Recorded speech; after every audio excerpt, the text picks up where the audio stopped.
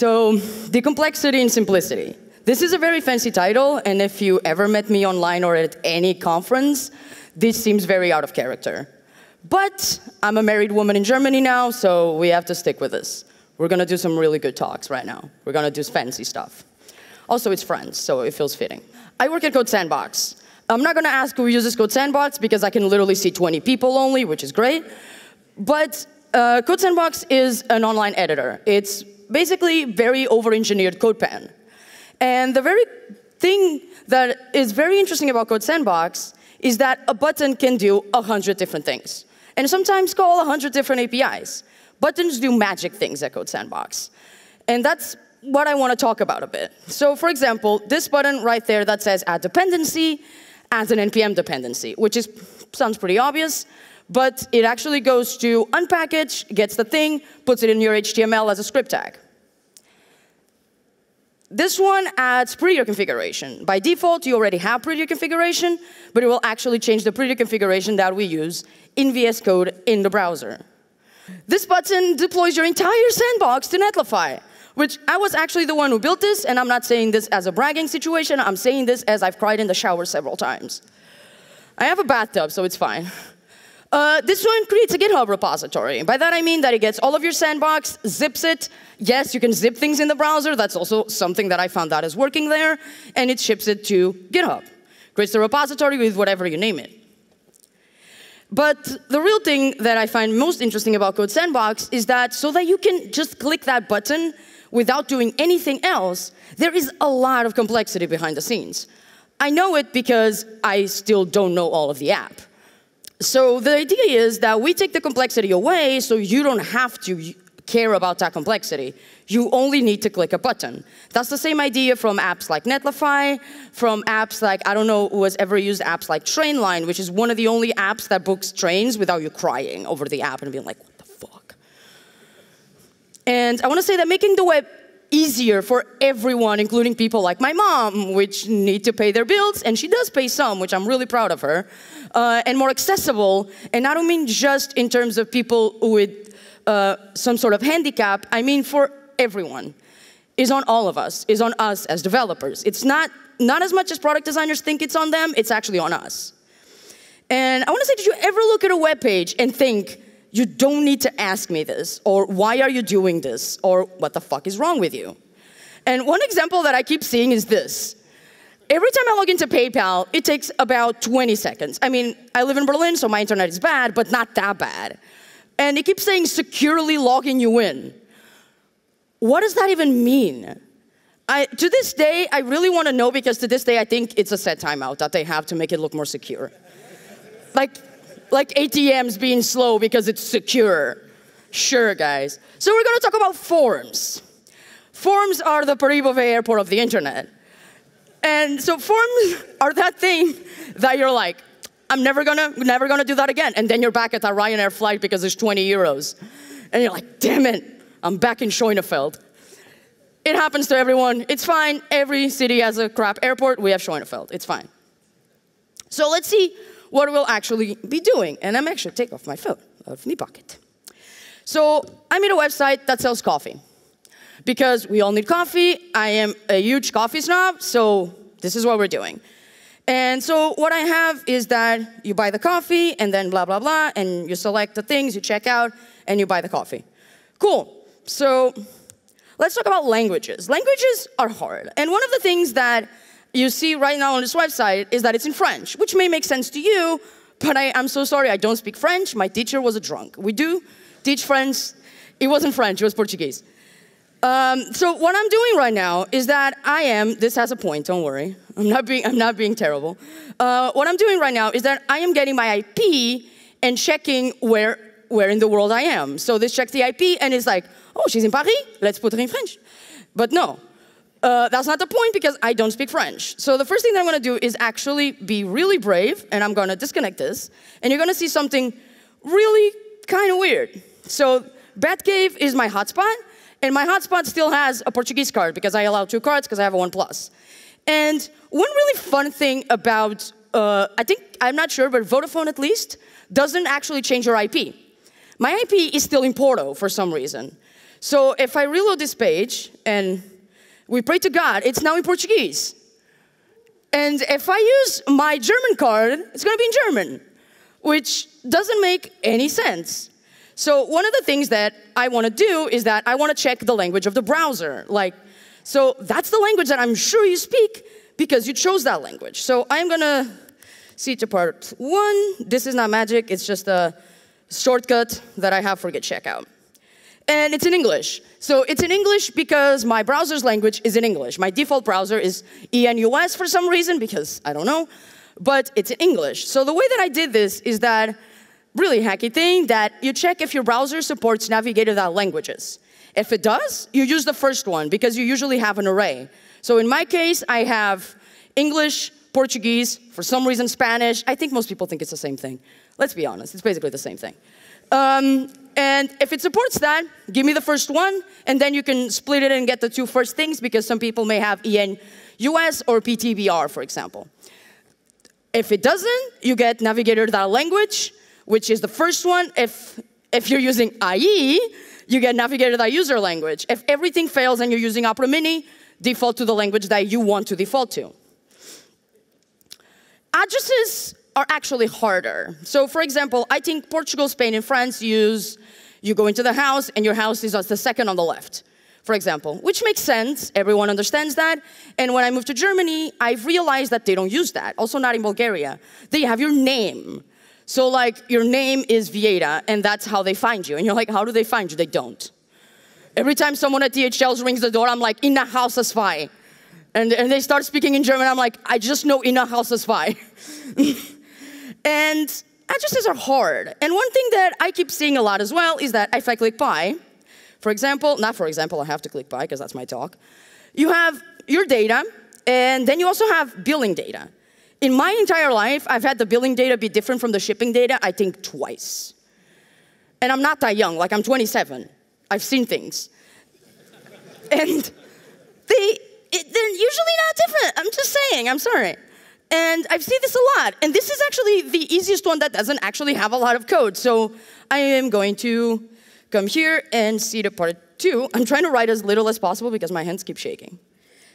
And what I did is that your billing data is equal to your shipping data by default. So when you send this to your server, or I'm assuming you have a server, if this checkbox is checked, whatever you sent in the shipping, in the billing, ship, oh God, shipping data is going to be the same to the billing data, which 99% of the times it is. I want to say that the main objective of forms is to make people not cry. No one likes forms. But some people really hate forms. So you have to make those people not cry. So this is literally a checkbox. I can't believe I'm showing, look, .js, a checkbox. With React, I know. so let's look a bit about accessibility. So on this website, if I tab along, if I can find my tab, everything works. It's all fine, I can do all these things. It's fine. But I'm actually using placeholders. These are not labels, these are placeholders, so if I type, they actually go away. And I want to talk a bit about placeholders because I've seen this as a big trend of people just using placeholders as labels. And I think this mostly comes a little bit from designer perspective because they look nice. They look really nice. So in terms of accessibility, I want to tell you that placeholders are not read by some assistive technology. They are read by VoiceOver on Mac, and they are read by JAWS very recently, if, if, you, if you updated it, but they're not read by others. And so the, the person just gets there and it's like, here's an input. For what? I don't know. That's cool. Uh, also, usually placeholders, they can be styled, but they're usually very light like this. So if you have any type of uh, problems in your eyes, you're probably not going to be able to read whatever is in there because it usually never passes contrast. And really random thing is that placeholders do not get translated. If I change this website to German, for example, and German is here, look at that pretty flag, and I reload this page, I don't know why I reloaded, and I translate to English, it says translated, but it didn't actually translate it. Did it translate? It's in English. I was like, damn. That would be terrible. It, trans- it doesn't translate the thing. Actually, name is the same. That's why it is. Please continue. So it doesn't actually translate placeholders, which may seem like a little thing, but I feel like one of the things that a lot of companies forget is that people travel. This seems like a very basic thing, but there's a lot of companies that kind of forget that people travel and people move, mostly within the EU. And for example, PayPal actually doesn't let you change your country. You have to close your account and create a new account. That's the main thing. This makes it really hard because you also can't copy and paste them. I'm a developer, so I go there, I go in the placeholder, I copy it, and I, cop and I copy and paste it into Google Translate because I also don't know German. So we can do better at this. There's also another tiny issue is that if you have any type of memory loss, the moment you type, the label is gone. So you sometimes have problems remembering what the hell you typed. Like, what was this for? And placeholders are not labels. That's the main thing. They were never created and intended to be labels. They were intended to be tiny hints so that the users know better what they're actually going for. So I'm gonna come here again and I'm gonna change to. There we go. Beautiful. And this will reload and be in English. Uh, and everything looks exactly the same. But that's the thing, you can make actual labels look like placeholders. So if I click here, this will actually go to the top, kind of like this. And this will give you the exact same idea, but literally remove all of the problems that you have with placeholders. Because they will be translated, they will be accessible, and they will be there at all times, no matter how many things you fill in. So if I fill in my email, it will still be here. Amazing. So this is done with CSS.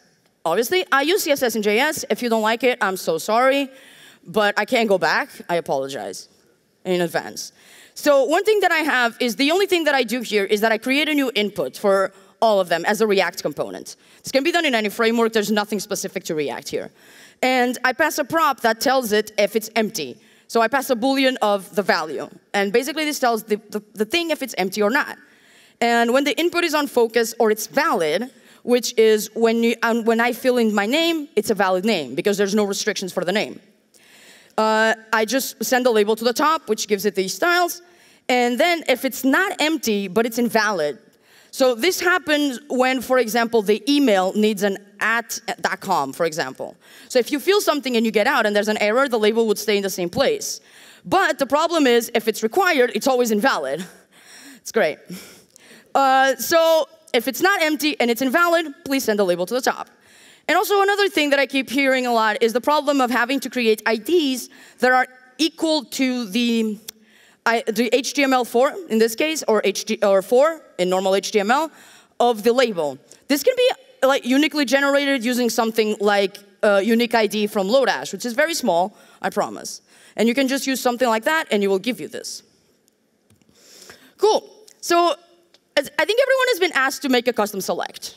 Exactly. I can only see like 20 people and like four of them raise their hands. So that's a lot. That's four out of 20, math. Uh, custom selects are terrible.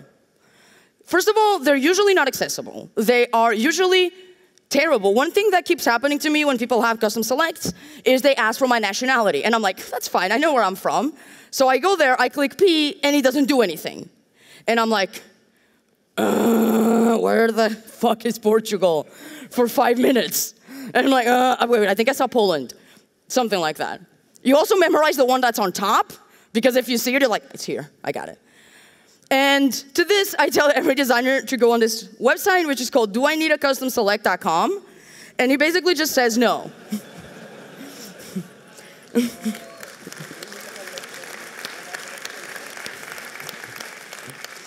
It also explains, for the love of God, do not do this to me.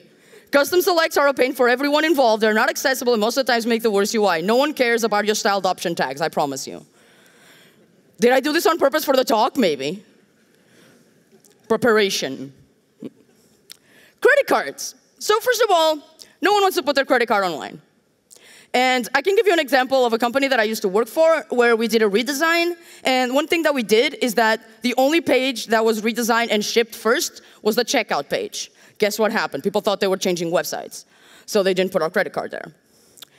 And I want to say, do not ask me what type of credit card I have. Because you can do this in the front end. So in the example that I have, which I've seen a lot, not only in Germany, is that people are like, what type of credit card do you have? And I'm like, as a developer, I'm like, this is a regex. You can do this, I promise you. So if I type MasterCard, they're like, hey, thanks, let me put all my information on the internet so you can steal my money. Thanks, make it harder for me. You can do this with a regex. You can actually check what type of credit card a person has. You can also check if the credit card is valid, but I didn't do that. So we're gonna go to part four. There we go, and we're gonna go here. And if I reload the page, you see that there is this icon, which is the only one that I didn't get from the internet, because you can see it's not that good. And if I type 411, it's a Visa, because all Visas start with four. All MasterCards start with five, and then one number from one to five. So for example, this is a MasterCard. I've never had an American Express because I'm a European, so I can't tell you. But this is the regex that takes to find these cards. There's some missing, like Maestro, for example, and Diners Club, which I've never seen in my life. Visa Electron is basically Maestro. So the thing is, it's not pretty, but it's really good UX.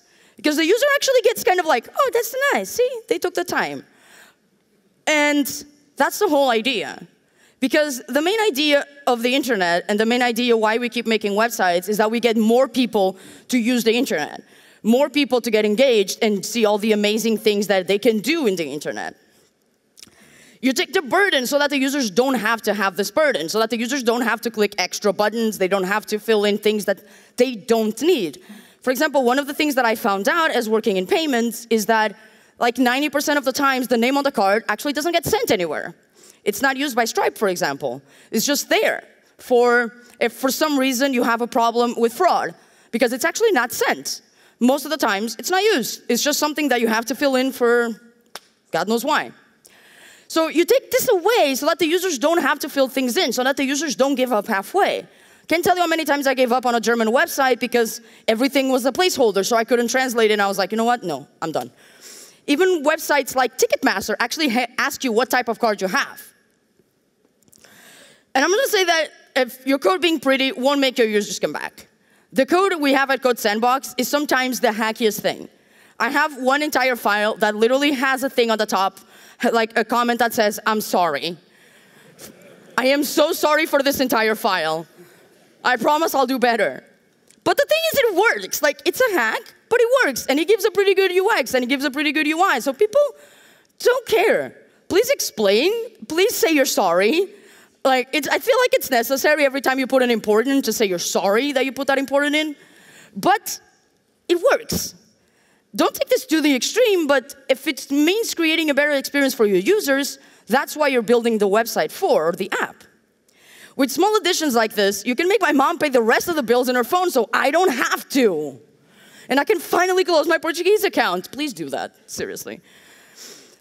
The, I think with the small additions like this, we can have way more code sandboxes in the world. We can have more people coding because we can actually make it easier for people to start coding. We can make it easier for people to do everything on the internet. It's not just about having a physical disability, it's about not being used to using the internet. We take these things for granted because we're the internet generation. Like, we were born with this, it's great for us. Thank you. Uh, said, my name is Sara Vieira. I have five names, and I'm Nikkita FTW on Twitter. If you want to follow me, I will publish my slides on the internet, and I will give you a pretty link, I promise.